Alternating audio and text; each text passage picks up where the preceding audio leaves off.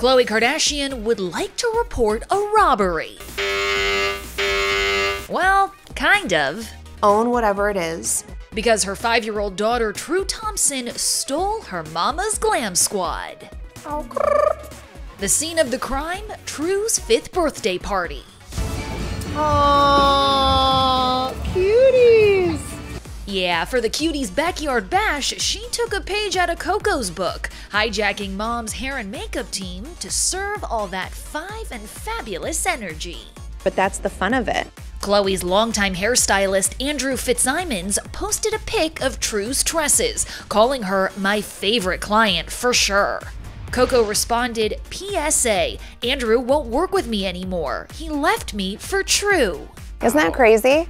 But get this, True didn't just snatch Andrew, she also took Khloe's makeup artist, Ash. Khloe joked, True, I love you, babe, but I have to teach you how you never take someone's glam team.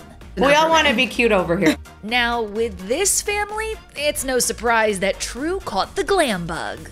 True, you know this. You're really It's not confident. face paint, Mama. Talking to myself. Can I see you?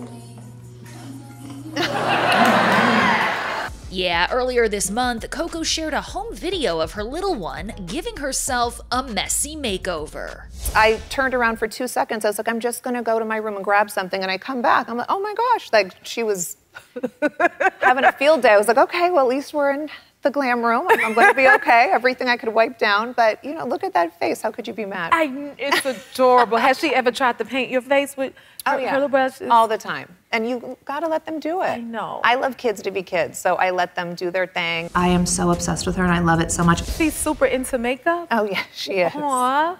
She's into makeup, and she. I like her to explore and do her thing. I mean, at this age, they don't really know. They think it's just like face painting and Yeah. fun stuff that drives me crazy.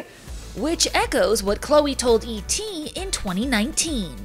She uh, was playing with highlighter earlier today, and I was like, I don't know if this is okay, but it's it's getting me to finish getting dressed today, so we'll clean her up later. But she looks really good, sparkly. True, clearly the apple of her mama's eye. My favorite part about being a mom, I mean, it's so corny, but it's just like, no matter how tired you are, whatever, you just, it's complete bliss. But True, if you're listening, maybe next time spare your mom and borrow glam from one of your aunties. Bible.